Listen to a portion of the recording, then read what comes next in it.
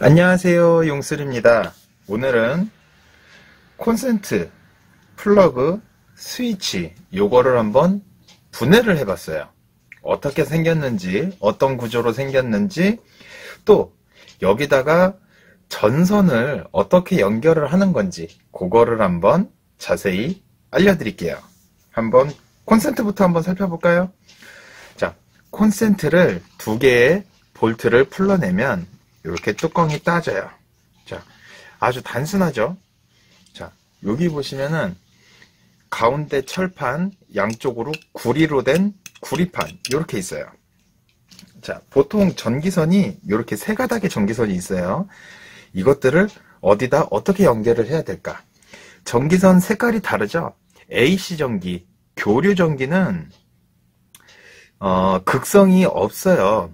DC는 플러스 마이너스가 있어서 빨간색, 검정색으로 보통 빨간색이 플러스, 검정색이 마이너스로 표시를 많이 하죠. 그렇지만 이런 220V AC 전기는 극성이 없어요. 그래서 어떤 선을 쓰셔도 상관은 없는데 방향이 바뀌어도 상관은 없는데 여기서 서, 세 가닥이잖아요. 중요한 거 요거 초록색 있죠. 요 초록색이 접지선이에요. 그라운드. 이렇게 보시면 금색, 흰색, 금색 이렇게 있죠. 얘하고 가운데하고 얘하고 이렇게 서로가 다 세 가지가 다 떨어져 있어요. 접지가 요 가운데 연결이 돼요. 접지는 가운데 연결을 하고 얘네는 조금 전에 극성이 따로 없다고 말씀드렸죠. 여기 하나, 여기 하나 이렇게 연결을 하시면 돼요. 요게 요렇게 자리가 요렇게 자리가 바뀌어도 상관은 없어요. 극성이 없기 때문에 여기 보시면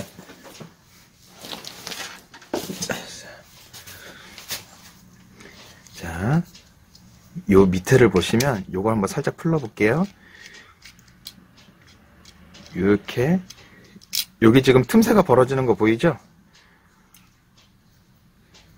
요, 요 자리에다가 전기선을 이렇게 꽂아 놓고 이렇게 꽂아 놓고 이거를 단단하게 조여주면 되는 거예요.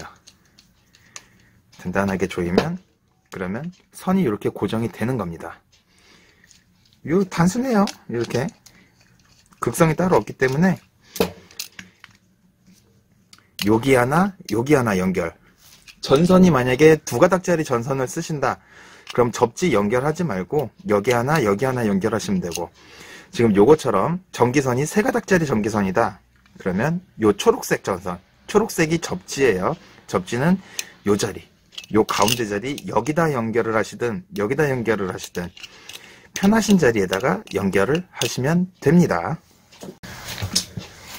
자, 그 다음은 요 플러그. 플러그, 여기에 볼트 두 개를 풀러내시면 이렇게 쏙 빠져나와요. 이렇게 보시면 요 단자가 요 콘센트에 요러, 요렇게 끼워지잖아요. 요렇게, 요렇게 딸깍하고 들어가는 거예요. 이게 어떤 역할이냐면 이 플러그 단자가 여기, 여기, 요렇게 금색 하나하나 요렇게 딱 연결이 되는 거예요. 요렇게. 그래서 이제 전기선을 여기 한 가닥, 여기 한 가닥 연결을 해 주셔야 돼요. 요렇게 보면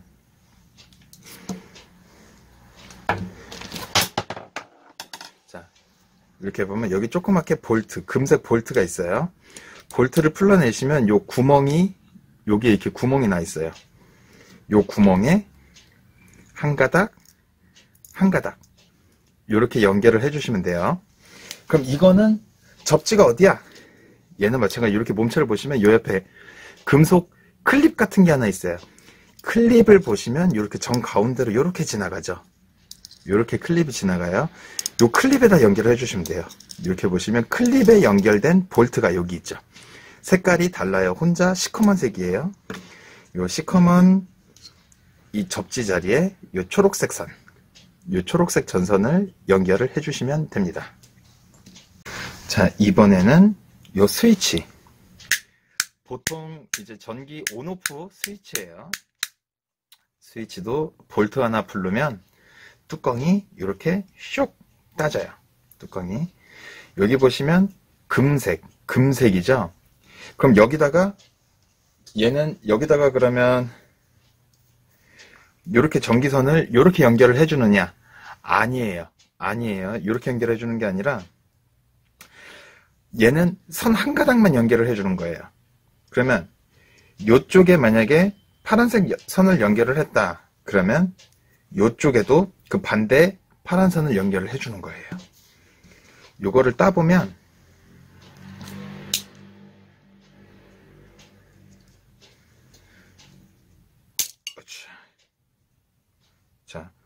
이렇게 지금 뚜껑을 땄죠. 스위치가 똑딱 똑딱 하면서 이 두 개를 선을 도통을 시켜주는 거예요. 이 두 개를 연결을 해주고 분리를 해주고 연결했다 분리했다 연결했다 분리했다 요 역할인 거예요. 이 자리에다가 선을 요렇게 요렇게 연결을 해버리면 스위치 올리는 순간 바로 쇼트 나요. 그렇게 하시면 안 돼요. 요거는 전기선 한 가닥만 연결, 한 가닥 라인만 켜고 끄고 해주는 자, 요것 같은 경우는 한 가닥만 전기를 차단한다고 말씀드렸기 때문에 살펴보시면 라인을 어떻게 잡아야 되냐 전기선이 두 가닥이라고 봤을 때 자, 한 선은 그냥 나오고요. 여기에 연결 안 되고 그냥 나오고 이제 이런 식으로 연결이 되는 거예요. 이런 식으로 이런 식으로 전기가 두 가닥 중에 한 가닥만 한 가닥만 전기를 차단했다가 연결했다가 차단했다가 연결했다가 이렇게 작업이 되는 거예요. 두 개의 전기가 같이 공급이 돼야 전원이 들어가요. 이 중에 한 가닥만 단선이 되더라도 전기가 공급이 안 되는 거예요. 전기가 이제 흐르고는 있지만 제품을 동작시키지는 않는 거예요. 그러면 요 스위치가 아마 우리가 일반적으로 생각하기 가장 좋으실 거예요. 이렇게 보시면 얘는 조금 더 이제 금속, 금색으로 된 구성품이 많죠?